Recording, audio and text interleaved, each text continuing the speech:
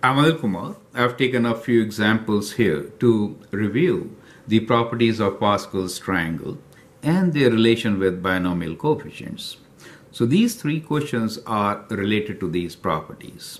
The first one is calculate 10 choose R where R goes from 0 to 10. Question number 2 is calculate square of 3 choose R where R is from 0 to 3 and question number 3 is find the sum of squares of sixth row of Pascal's triangle. You can pause the video, apply the properties of Pascal's triangle, calculate the result and then check with my solution.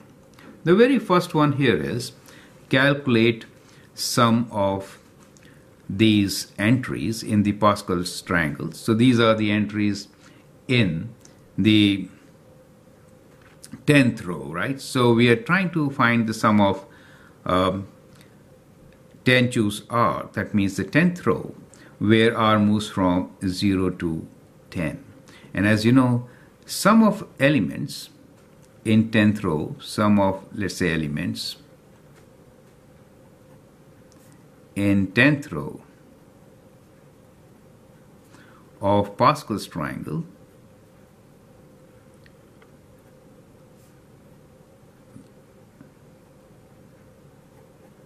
is 2 to the power of n, n in this case is 10, and therefore it should be 2 to the power of 10, right? 2 to the power of 10, you can use the calculator, but I always remember this as a k, 1024, right? 1024. So the answer is 1024 for this particular case. Now let's look into question number 2, which is, in this case, we are adding the square of these entries, right? So basically what we have here is uh, 3CR whole square. So you can actually use calculator, calculate these values, but a faster way was uh, look at the Pascal's triangle, correct? So we have 1, 1, 1, and since it is just uh, we have to go three rows so so I'll prefer to do this this is faster than using the calculator right and purposely I'm doing it like this so it is 3, 3, and 1.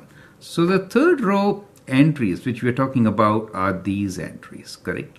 Now we have square of this, right? So we could write this as 1 square, uh, okay, uh, 1 square plus 3 square plus 3 square plus 1 square and when you add them like it's just 1 plus 9 plus 9 plus 1 so 10 plus 10 gives us 20 correct? So so we get result as 20 now we do have a property which says that let me write down the property here first and then we will use that formula to find this sum rather calculate correct? So so what we have is that the squares sum of the squares of this is equals to in general 2n Cn, right? So in this case, since n is 3, since n is n is 3, so, so what we'll get here as sum as 3 times 2 is 6, so 6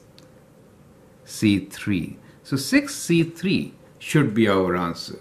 So let me use the calculator and figure it out just to verify the formula, right? So, so we have 6 uh, C3 as our answer. So 6 NC RS3 equals to gives us 20 do you see that? So that is also equals to 20 so 6C3 as you can see is 20 so we can always use this formula that the sum of squares of any row in Pascal's triangle can be found by the formula 2ncn so you have to from 2n choose n correct Question number three is direct application of this particular property.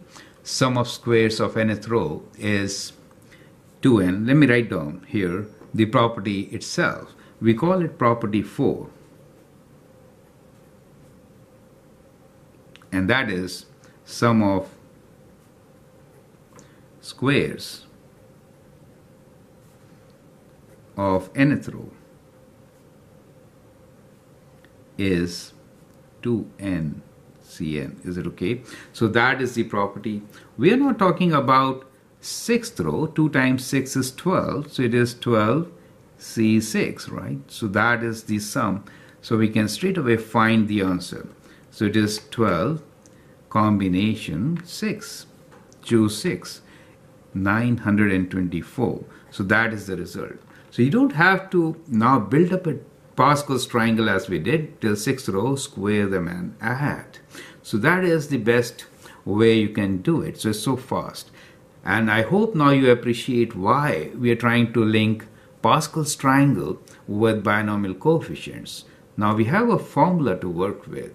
I'm Anil Kumar and i I am sure this must help you to understand the whole concept and move forward with some tricky questions on binomial coefficients. We'll take them up soon. I'm Anil Kumar. You can share and subscribe my videos. Thank you and all the best.